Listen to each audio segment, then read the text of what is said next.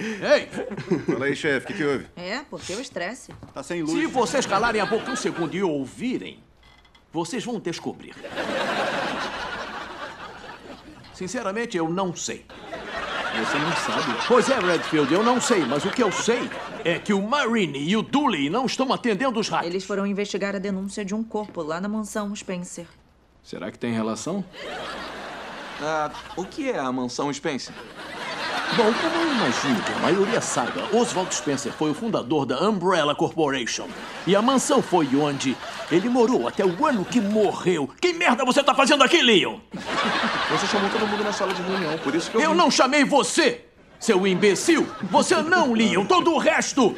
E se alguém entrar aí e não tiver ninguém na recepção, uma velha procurando um gatinho, por exemplo, nossa senhora, volta pra lá, meu filho, e corta essa chuva, seu hippie vagabundo. Aqui não é Woodstock, não. Abra seu armário. Pega leve com o recruta, chefe. Me desculpa, Wesker. É importante? Não, é, tá tudo bem. Namorada nova? É? Leva ela pra comer lá no Planet Hollywood. Abriu um novo lá em Gatlin. Ah, tem uma salada ótima. Um vinhozinho. Ou só leva ela pro seu apartamento. Aluga um filminho na Blockbuster e deita no sofá. Põe o Johnny pra trocar. A voz do Steve Perry faz maravilhas com o coração da mulher, não é não?